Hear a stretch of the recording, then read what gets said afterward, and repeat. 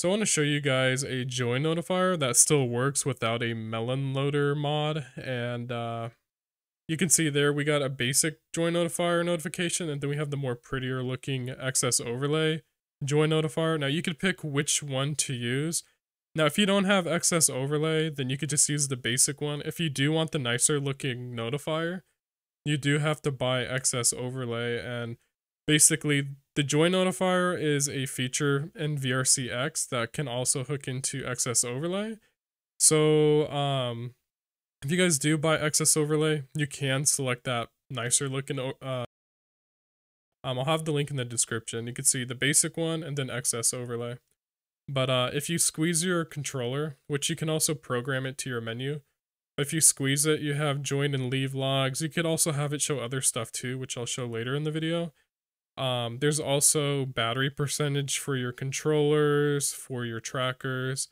You know, there's other little info there too.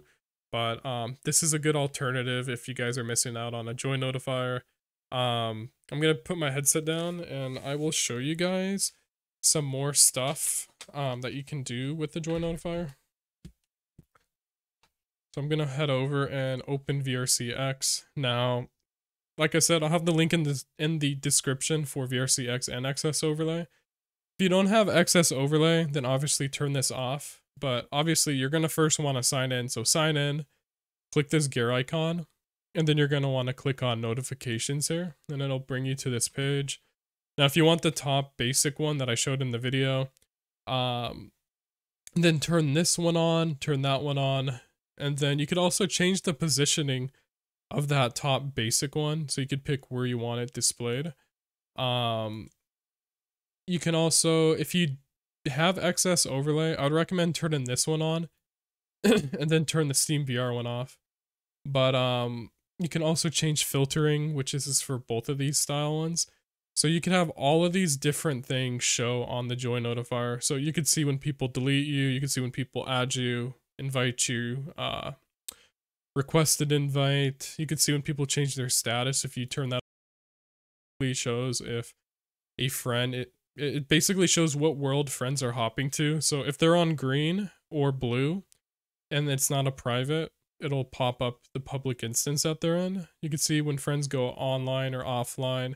You have all these options which are very handy and this like I said this is not a mod, it still works. So I think this is really cool. But um you can also have desktop mode notifications too.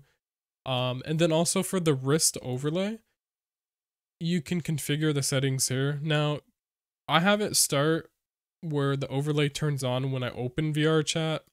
If you have it on this, it'll open if you open Steam VR, but I play other VR games, so I only want it opening if I have VR chat open. Um, I guess if you have this on, on Steam VR and you're playing another game, you could still use the overlay on another game and just kind of see when people hop online on VR chat, I guess. But um, you know, this is if you want to change from grip to the VR chat menu button for the overlay to open up. Um, you know, you got all these extra options here. You could change your wrist feed filtering. So that little wrist feed basically will show all this if you turn it on. VIP is people that you have favorited in VR chat and then obviously friends are friends but um i'm trying to think of anything else that i might be missing uh, oh yeah. So i'll have the link in the description like i said for vrcx so you want to head over to releases here but whatever the latest one is use this one. So the the latest one of the time of this video is this. Now, i have this installed already but that's fine. Uh go over to this one. If this looks like that just bring the drop down down.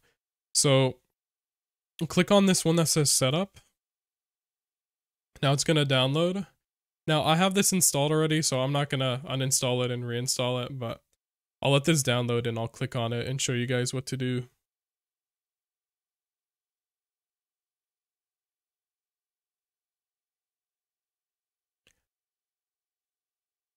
Okay, so I'm going to open up this setup. Click more info, run anyway. Select yes.